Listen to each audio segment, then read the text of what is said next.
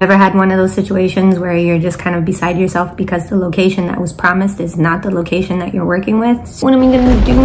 What am I gonna do? So you're trying to either hide from the rain, incorporate the rain into your session. There's like a whole million other avenues, but I'm just gonna give you one tip. One tip today. And then if you like this, subscribe, like, and follow for more little tips and tricks while I spill the tea on what I do with photography.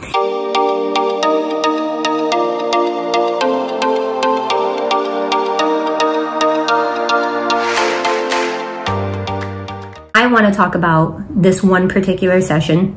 I remember Emily, she's a makeup artist, and if you want to see the full on session of this, go to the link um, that I'm going to tag right above and you can go there and see the whole thing in detail. But I really want to stick to the point. And the point is when I took her out into the hallway, she looked at the hallway and I was like, yeah, I want this hallway. It's a very, it's an industrial looking hallway. The floors are just has that really antique vintage look.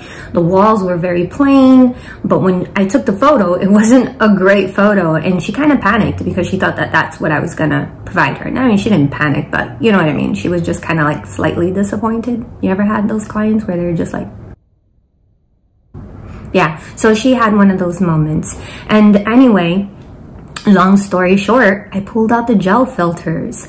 And the gel filters really made the photograph pop. No Photoshop necessary. You don't need any fancy gear. I'm gonna put a link to the description of the gel filters that I use. They're, I mean, it's very affordable. You will enjoy it. All, all, you have to do is attach it onto some type of light source.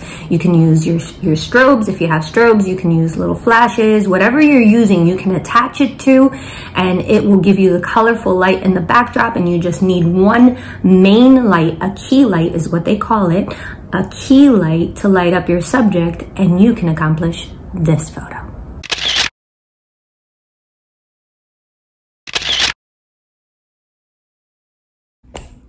Thanks for watching. Be sure to subscribe, like, and follow, and please share.